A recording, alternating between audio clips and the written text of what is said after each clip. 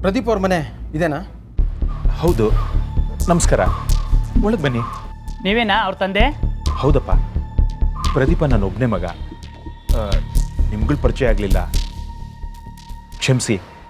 ನೀವು ಇದು ಮೊದಲನೇ ಸರಿ ನೋಡ್ತಿರೋದು? ಅದಕ್ಕೆ ಕೇಳಿದೆ.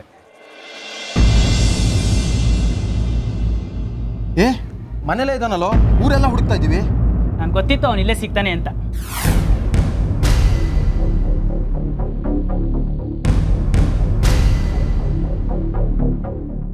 ನಮಸ್ಕಾರ ಸರ್. ಕಾಲೇಜ್ಗೆ ಹೋಗಿದ್ವಿ ನೀನಿರ್ಲಿಲ್ಲ ಎಲ್ಲಿ ಅಂತ ಹುಡ್ಕೋದ ನಿನ್ನ? ಕೈಗೆ ಸಿಗಲ್ಲ ಅಂತೀಯಾ? ಪ್ರದೀಪ? ಇವರ್ಯಾರಪ್ಪ ನನ್ನ ಸ್ನೇಹಿತರ ಕೊಲೀಗ್ಸಾ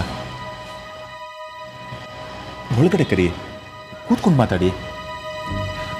ಸರ್ ನಾವು ಸ್ನೇಹಿತರೆ ಬಿಡಿ ಸರ್. ಇಲ್ಲೇ ಕೂತ್ಕೊಂಡು ಮಾತಾಡ್ತೀವಿ. ನೀವು ಒಳಗೆ ಹೋಗಿ ಸರ್. ಹೋಗಿ ಸರ್.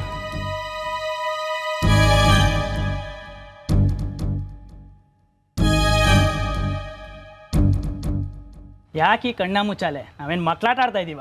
ನಮ್ಮ ದುಡ್ಡು ನಮಗೆ ಕೊಟ್ರೆ ನಿನ್ನ ಮರ್ಯಾದೆ ಉಳಿಯತ್ತೆ ಪ್ರದೀಪ. ದಯವಿಟ್ಟು ಮೆಲ್ಲಗೆ ಮಾತಾಡಿ. ಕೊಡಬೇಕು ಅಂತ ಅನ್ಕೊಂಡಿದ್ದೆ. ಆದ್ರೆ ಆಗಲಿಲ್ಲ. ಇದನ್ನ ಹೇಳ್ತಾ ಮೂರು ತಿಂಗಳಾಯ್ತು. ನಿಮ್ ದುಡ್ಡು ಕೊಟ್ಬಿಡ್ತೀನಿ. ಸ್ವಲ್ಪ ಟೈಮ್ ಕೊಡಿ. ದುಡ್ಡು ಕೇಳಿದ್ರೆ ಟೈಮ್ ಕೇಳ್ತೀಯ? ಆಗಲ್ಲ. ಮನೆ ಬಾಗ್ಲಿಗೆ ಬಂದಿದ್ವಿ ಬರೀ ಕೈಲಿ ಹೋಗಲ್ಲ. ನೀನ್ ದುಡ್ಡು ಕೊಡೋವರೆಗೂ ಇಲ್ಲೇ ಕೂತಿರ್ತೀವಿ. ದುಡ್ಡು ಬೇಕೇ ಬೇಕು